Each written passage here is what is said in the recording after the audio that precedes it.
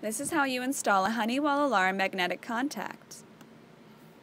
We demonstrate that you can wire in the contact either way as long as the black and red wires are securely attached the circuit is complete.